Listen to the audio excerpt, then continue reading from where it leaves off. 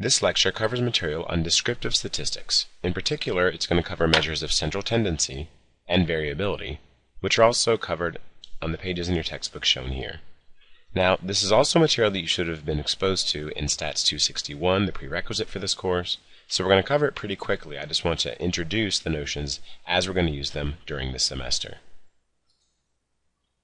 In particular, when we talk about central tendency, we're going to talk about three different measures, the mode, the median, and the mean. What's important is that you know what these measures are, and more importantly perhaps is when to use them for different types of measurement that you may be doing, and also depending on some different characteristics of your data. We're going to talk about measures of variability, including the range, the sum of squares, the variance, and the standard deviation.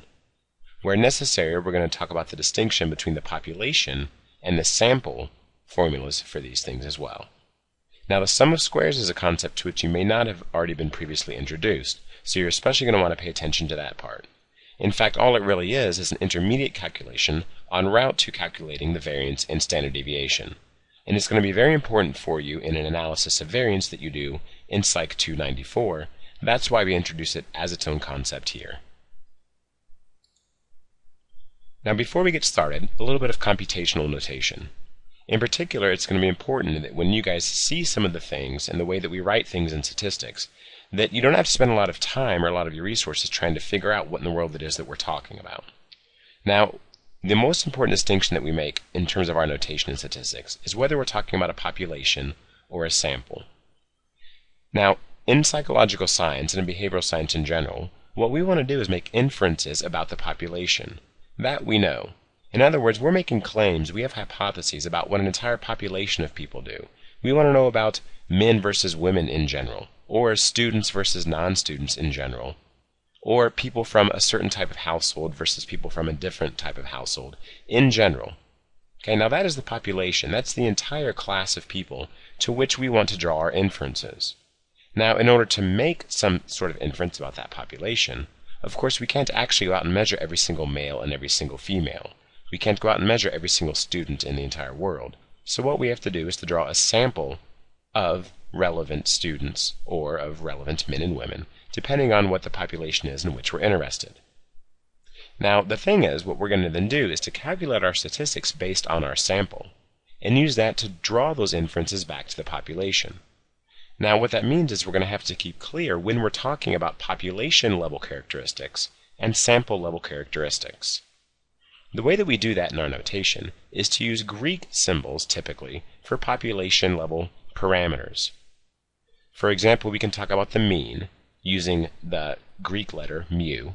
We can talk about sigma or the standard deviation. We can talk about the correlation we might see in an entire population by using rho here, the Greek lowercase letter rho. Okay, now we have then analogous symbols in the sample to talk about the same types of statistics. We can talk about the mean. We typically use x bar to denote the mean in a sample. S instead of sigma at the level of the sample to talk about the standard deviation. And we're talking about correlation, okay, of course then the corresponding instead of rho, we're going to use the Latin r instead. Okay, so the regular letters if you will. So whenever you see these things, whenever you see us using a mu or a sigma or a rho, okay, or any other Greek letter, we're typically talking about the population.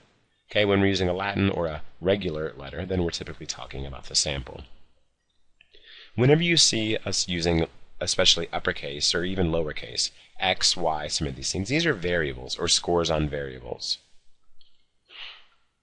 A capital Greek sigma is a summation operator. Okay, now when you see this, what that means is you're going to add up everything that comes after it. Now, the question here, though, however, you also need to be very careful about the way that you're using sigma, especially in terms of order of operations. So what you can see here is I've written two different things. On the left-hand side of this equation, what we have is sigma x squared. Now on the right-hand side, what we have is sigma x in parentheses, and then that quantity squared. Now, do you think that these two quantities, the left hand and the right hand side of this equation, are indeed going to be equal? Well, the correct answer is they're not. So you have to be very careful again about order of operations and the way that you're reading some of these operators. Just like in basic algebra when you're looking at order of operations for addition and subtraction and multiplication and some of these other operations, right? it's important to keep this in mind here. On the left-hand side, what we're doing is we're first squaring every single x value, and then we're adding up those squared values. That's what we have on the left.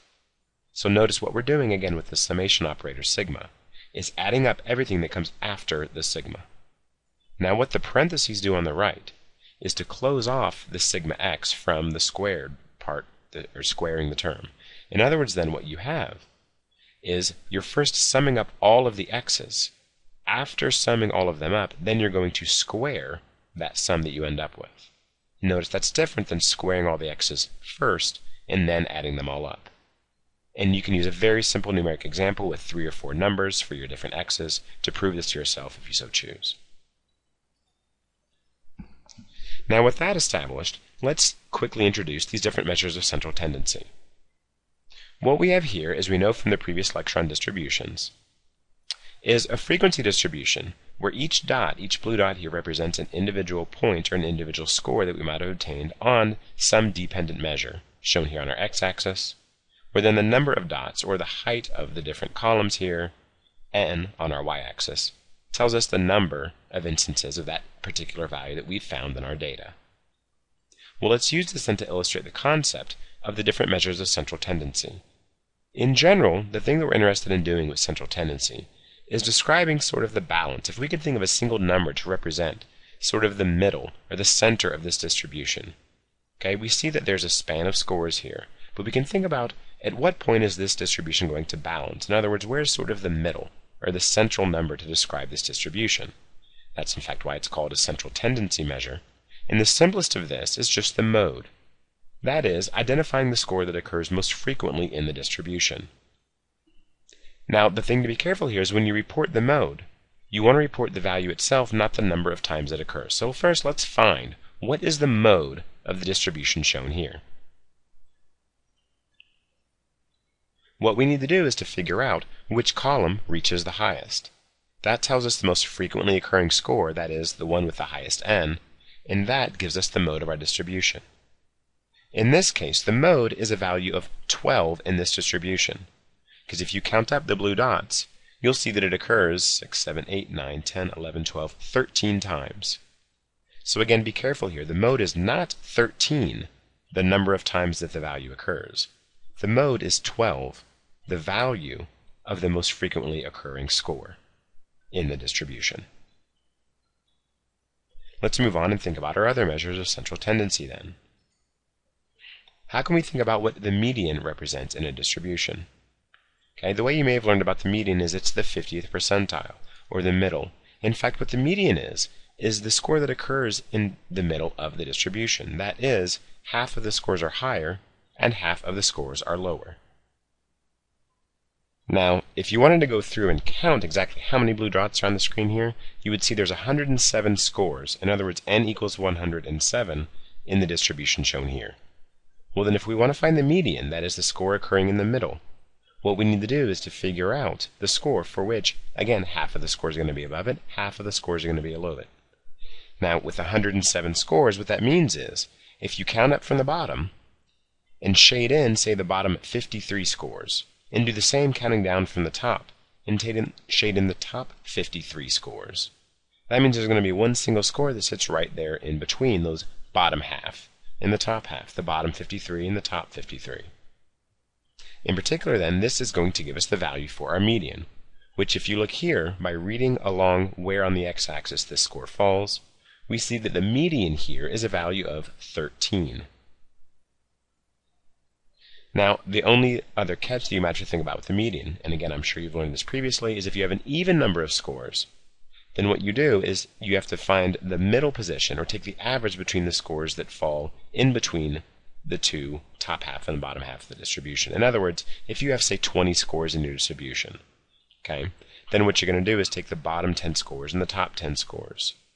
In other words, what you're going to do is then have to look at the 10th and the 11th. Between the 10th and the 11th score is where the median would fall. So what you would want to then do is to average the value of the 10th and the 11th scores to get sort of the 10.5 value that you're looking for. Okay, now again, that's not relevant to this distribution, which did have an odd number of scores.